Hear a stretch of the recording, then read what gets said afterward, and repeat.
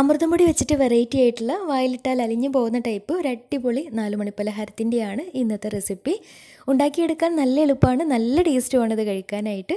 അപ്പോൾ അമൃതം പൊടി കഴിക്കാത്ത കുട്ടികൾക്കൊക്കെ ഈ രീതിയിലൊക്കെ ഉണ്ടാക്കി കൊടുക്കുകയാണെങ്കിൽ തീർച്ചയായിട്ടും ഇഷ്ടമാവും ഇനി അമൃതം പൊടി കിട്ടാത്ത ആൾക്കാർക്ക് ഒരുപാട് പേര് ചോദിക്കാറുണ്ട് എവിടെ നിന്നാണ് കിട്ടാന്ന്. അംഗനവാടി വഴി കിട്ടുന്നതാണ്.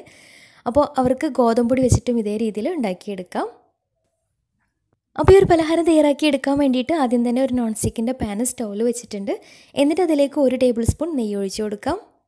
നെയ്യ് നന്നായിട്ട് ചൂടായിട്ട് വന്നാൽ ഇനി ഇതിലേക്ക് ഒരു കപ്പ് അളവിൽ അമൃതം പൊടി ചേർത്ത് കൊടുക്കാം. ഇനി ഒരു മീഡിയം ഫ്ലെയിമിലിട്ടിട്ട് ഇത് നന്നായിട്ടൊന്ന് വറുത്തെടുക്കാം.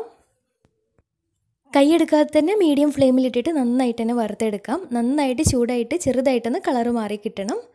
അത്രയും വരും വറുത്തെടുക്കാം. അപ്പോൾ അമൃതം പൊടി നന്നായിട്ട് വറവായത് കിട്ടിയാൽ ഇനി വേറൊരു ബൗളിലേക്ക് മാറ്റിയതിന് ശേഷം ഇതേ പാനിലേക്ക് തന്നെ മുക്കാൽ കപ്പ് അളവിൽ അവിൽ ചേർത്ത് കൊടുക്കാം. മുക്കാൽ കപ്പാണ് അവിൽ ചേർത്ത് കൊടുത്തിട്ടുള്ളത്. ഇനി ഇതും കൂടെ ഈ ഒരു ഫ്ലെയിമിലിട്ടിട്ട് നന്നായിട്ട് വറുത്തെടുക്കാം. അവൽ വറുത്തെടുക്കുന്ന സമയത്ത് ഇതിലേക്ക് ഒരു മുക്കാൽ കപ്പ് തേങ്ങ ചിരകിയത് കൂടെ ചേർത്ത് കൊടുക്കുന്നുണ്ട്. അപ്പോൾ രണ്ടും കൂടെ നന്നായിട്ട് തന്നെ വറുത്തെടുക്കാം. അപ്പോൾ തേങ്ങയും അവിലും ഒന്ന് നന്നായിട്ട് ഡ്രൈ ആയിട്ട് വരണം. അപ്പോൾ അവിലും തേങ്ങയൊക്കെ നന്നായിട്ട് വറവായിട്ട് നന്നായിട്ട് ഡ്രൈ ആയിട്ട് കിട്ടിയാൽ ഇനി ഫ്ലെയിം ഓഫ് ചെയ്യാം. ഇനി അവലും തേങ്ങയും കൂടെ ഒരു മിക്സിയുടെ ജാറിലേക്ക് ഇട്ട് കൊടുക്കാം. കൂടെ തന്നെ നേരത്തെ വറുത്ത് മാറ്റി വെച്ചിട്ടുണ്ടായിരുന്ന അമൃതം പൊടി കൂടെ ചേർത്തിട്ട് നന്നായിട്ടൊന്ന് പൊടിച്ചെടുക്കാം. ഒരുപാട് നല്ല ഫൈനായിട്ട് പൊടിച്ചെടുക്കേണ്ട ആവശ്യമില്ല. ചെറിയൊരു തരി തരി ഉണ്ടായാലും കുഴപ്പമൊന്നുമില്ല. അപ്പോൾ ചെറിയൊരു തരിയോട് കൂടി പൊടിച്ചെടുത്താൽ മതിയാവും. അപ്പോൾ ഇതാ ഈ ഒരു രീതിയിലാണ് പൊടിച്ചെടുത്തിട്ടുള്ളത്. ഇനി ഒരു പാനിലേക്ക് അര കപ്പ് അളവിൽ ശർക്കരപ്പൊടി ചേർത്ത് കൊടുക്കാം. ഒരുപാട് നല്ല മധുരമില്ലാത്ത ശർക്കരപ്പൊടിയാണ് കേട്ടോ. അപ്പോൾ നല്ല മധുരമുള്ള പൊടിയാണെന്നുണ്ടെങ്കിൽ കാൽ കപ്പ് തന്നെ ഒരു കാൽ കപ്പിന് മുകളിലായിട്ട് എടുത്താൽ മതിയാവും. എന്നിട്ട് ഇതിലേക്ക് ഒരു കപ്പ് അളവിൽ വെള്ളം കൂടെ ചേർത്ത് നന്നായിട്ട് തിളപ്പിച്ച് ഒന്ന് മെൽറ്റാക്കി എടുക്കാം. മെൽറ്റാക്കി എടുക്കുന്ന സമയത്ത് ഇതിലേക്ക് ഒരു പിഞ്ചളവിൽ ഉപ്പും കൂടെ ചേർത്ത് കൊടുക്കുന്നുണ്ട്. മധുരം ഒന്ന് ബാലൻസ് ചെയ്തെടുക്കാൻ വേണ്ടിയിട്ട്. കൂടെ തന്നെ നല്ലൊരു ഫ്ലേവറിന് വേണ്ടിയിട്ട് കാൽ ടീസ്പൂൺ ഏലക്കാപ്പൊടി കൂടെ ചേർത്ത് നന്നായിട്ടൊന്ന് തിളപ്പിച്ചെടുക്കാം.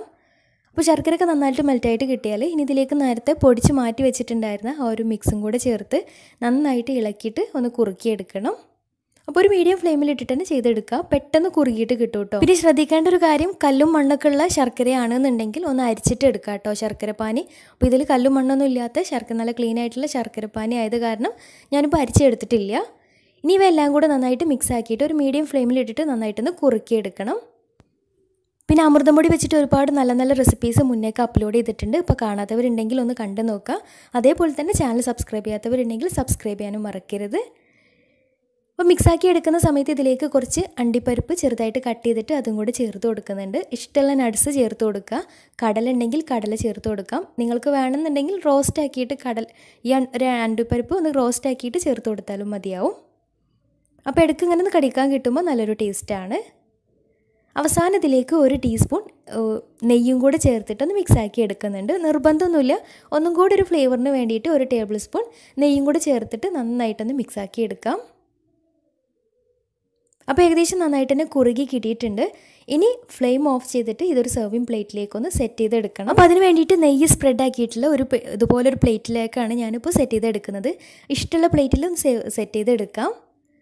അപ്പോൾ എല്ലാതും ഇതിലേക്ക് ആക്കിയതിന് ശേഷം ഒന്ന് നല്ല പ്രസ് ആക്കിയിട്ട് സ്പാച്ചിൽ വെച്ചിട്ടോ അല്ലെങ്കിൽ ഒരു ചട്ടങ്ങം വെച്ചിട്ടോ അല്ലെങ്കിൽ ഒരു സ്പൂൺ വെച്ചിട്ടോ ഒന്ന് സെറ്റ് ചെയ്ത് പ്രസ് ചെയ്തിട്ട് സെറ്റ് ചെയ്തെടുത്ത് ലെവലാക്കി എടുക്കാം. അപ്പോൾ നല്ല ടൈറ്റായിട്ട് നല്ല നന്നായിട്ട് തന്നെ ലെവലാക്കിയിട്ട് സെറ്റാക്കി എടുത്തു കഴിഞ്ഞാൽ ഇനിയൊരു പതിനഞ്ച് മിനിറ്റ് ഒന്ന് സെറ്റ് ആകുമ്പോൾ വേണ്ടിയിട്ട് മാറ്റി വെക്കാം.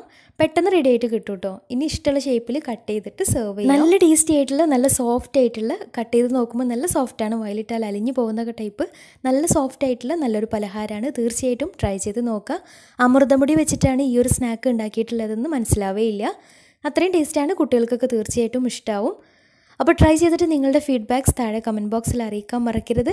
അപ്പോൾ ഇന്നത്തെ വീഡിയോ ഇഷ്ടമായെന്ന് വിചാരിക്കുന്നു. ഇഷ്ടമായെങ്കിൽ ലൈക്ക് ചെയ്യുക ഫ്രണ്ട്സ് റിലേറ്റീവ്സിനൊക്കെ ഒന്ന് ഷെയർ ചെയ്ത് കൊടുക്കാനും മറക്കരുത്. അപ്പോൾ നല്ല അടിപൊളി വീഡിയോയുമായി വീണ്ടും വരാം. അതുവരെ ടേക്ക് കെയർ ബൈ താങ്ക്